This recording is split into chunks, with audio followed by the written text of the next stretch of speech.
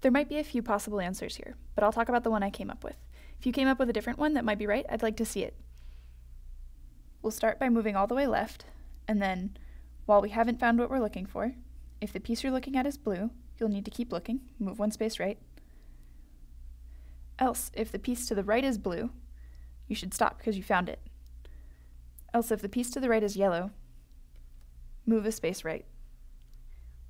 I think it's a good way to start by moving all the way left, because that means the first time we find a yellow followed by a blue, that'll be the leftmost one. Now, as long as we haven't found it, we're going to keep looking.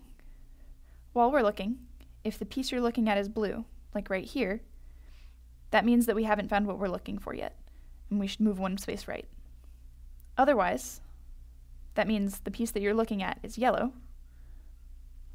and if the one to the right of it is blue, so if we were right here, we're looking at a yellow, the one to the right is blue, you would stop because you found it.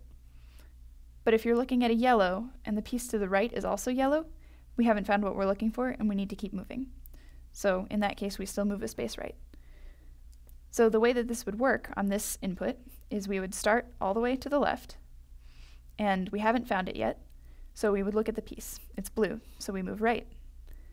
We still haven't found it, so we look at this piece, it's blue, so we move right.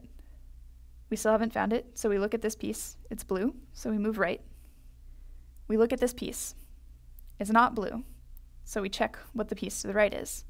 The piece to the right is not blue, so we check if the piece to the right is yellow, which it is, then we move a space right. Okay, now we need to check again.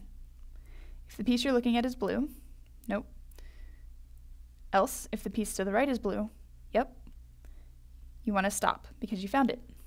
So it looks like it works on this input.